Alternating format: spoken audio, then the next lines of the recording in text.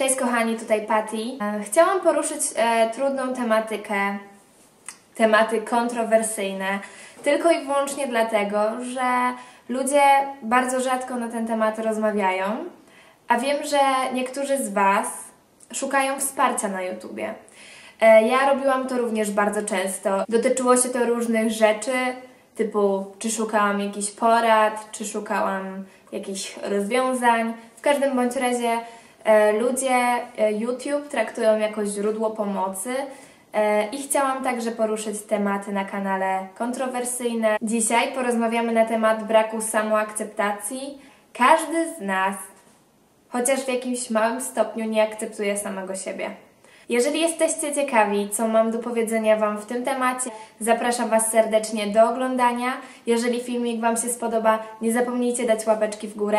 Pamiętajcie też o tym, aby kliknąć dzwoneczek. Wy będziecie informowani o naszych kolejnych nowych filmach. I'm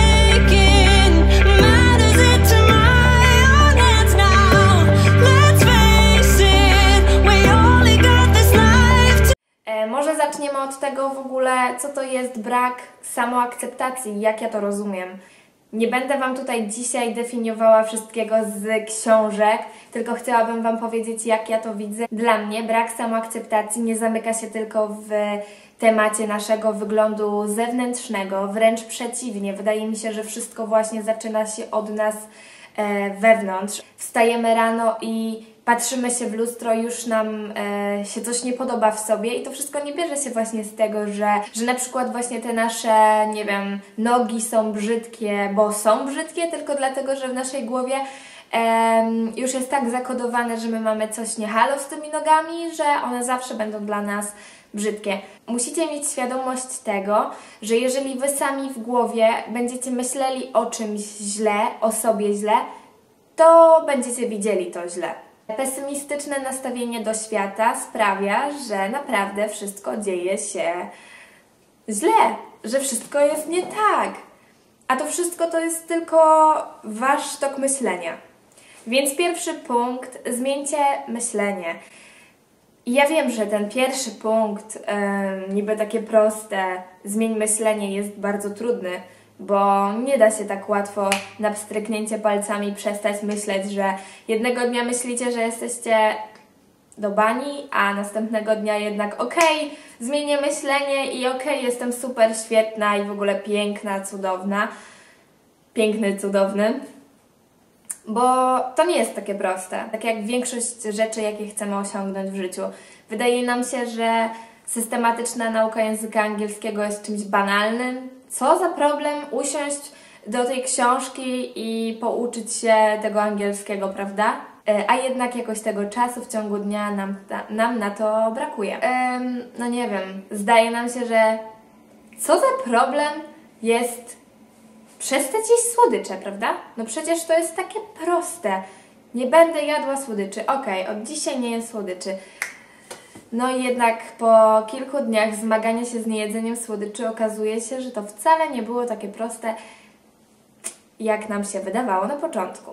Pamiętajcie, że żeby akceptować samego siebie, trzeba siebie kochać. Jeżeli nie będziecie kochali swojego ciała, tylko będziecie widzieli w sobie same złe, negatywne rzeczy i będziecie wytykali sobie jakieś tam kompleksy, będziecie stwarzali co rusz to nowe kompleksy, to nie pomożecie sobie. Zacznijcie widzieć w sobie pozytywne rzeczy. Inwestujecie w samych siebie. Często w swoim życiu miałam, e, napotykałam takie osoby, które kompletnie nie mogły pogodzić się z tym, jacy są, jak wyglądają, jak się zachowują.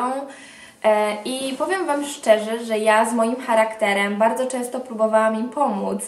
E, ogólnie należę do takich osób, które zawsze starają się każdemu pomóc. E, mówiłam Wam to już niejednokrotnie, że kiedy macie jakiś problem, możecie zawsze do mnie napisać, ja Wam postaram się pomóc, jak tylko potrafię. E, nie obiecuję, że będą to moje złote rady, które Was, nie wiem, uniosą ponad chmury, ale jednak mam nadzieję, że w jakimś najmniejszym stopniu będę w stanie Wam pomóc. No i tak samo było mm, a propos moich znajomych, którym próbowałam pomóc. Żyjemy niestety w takich czasach, gdzie internet, e, telewizja jest ponad wszystkim. Ludzie są ogłupiani. E, możecie zauważyć, że typowy Instagram, który jest tak słynną aplikacją, e, jest to tak piękna aplikacja. Jest to po prostu piękna aplikacja, na której e, nie ma brzydkich zdjęć. Tam ludzie nie wrzucają brzydkich zdjęć. Na Instagramie zdjęcia muszą być tylko perfekcyjne, w cudownych filtrach.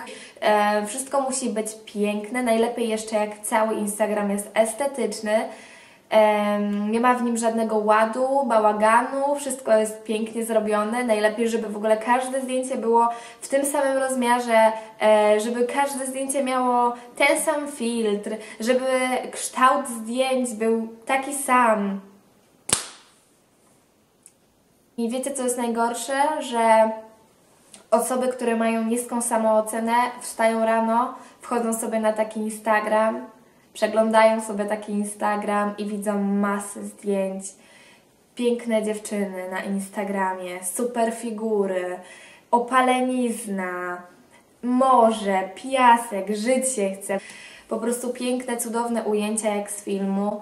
I ludzie się zastanawiają, Dlaczego oni są gorsi i w czym oni są gorsi? Oni nie są w stanie zrobić sobie takich zdjęć. I teraz pytanie, od czego to zależy? Od nich samych, czy może od braku umiejętności posługiwania się Photoshopem? Nie wiem. Ale pamiętajcie, że e, te zdjęcia, jakie Wy widzicie, to jest, e, można ująć to, że jest to trochę fikcja, bo nikt w rzeczywistości nie ma takiego cukierkowego życia. Pamiętajcie, że zawsze jest ta ciemna strona i ta jasna. Nie ma ludzi, którzy mają całe życie cudowne, piękne i w ogóle usłane różami. Każdy przechodzi w swoim życiu przez jakieś gorsze okresy i każdy z nas znosi je różnie.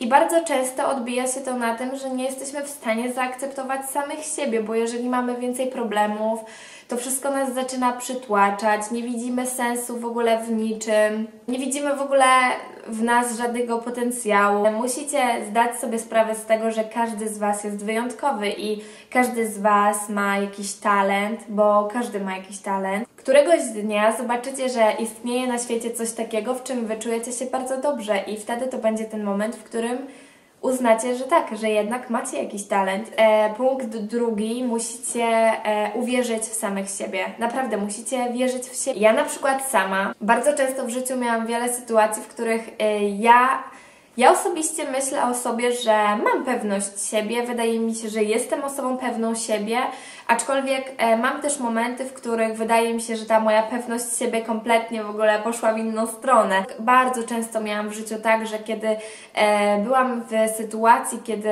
ktoś mnie oceniał, czy to były zawody, czy to były turnieje taneczne, bardzo często ta moja pewność siebie gdzieś tam mnie zostawiała i i pamiętajcie o tym, że, że to nie jest coś, co się buduje i, i będzie się miało zawsze, bo, bo to wszystko zależy właśnie od waszego myślenia. Ta pewność siebie to jest właśnie to myślenie. Więc musicie myśleć o sobie dobrze, musicie wierzyć w siebie i wtedy ta pewność siebie będzie z Wami zawsze. Jak możecie uwierzyć w siebie, jak możecie mieć większą pewność? Jeżeli nie jesteście pewnymi siebie osobami, to róbcie wszystko, aby to zmienić. Jeżeli właśnie macie kompleksy swojego ciała, to pamiętajcie, że nie ma co iść i płakać, że macie kompleksy, że macie brzydkie nogi, uda, y, brzuch, ręce, no nie wiem, cokolwiek. Tylko zróbcie coś z tym. Zobaczcie, że z każdej sytuacji jest jakieś wyjście. Możecie iść na siłownię, a jeżeli brakuje Wam pewności siebie i nie chcecie iść na siłownię, bo wstydzicie się jeszcze w danym momencie na przykład ćwiczyć w miejscach publicznych, to ćwiczcie w domu. W domu nikt Was nie widzi, możecie robić co chcecie. Włączcie muzykę, ćwiczcie. Pewność siebie również zbudowałam u siebie przez taniec, więc e, szukajcie sobie pasji, co będzie Was motywowało do tego, by działać dalej.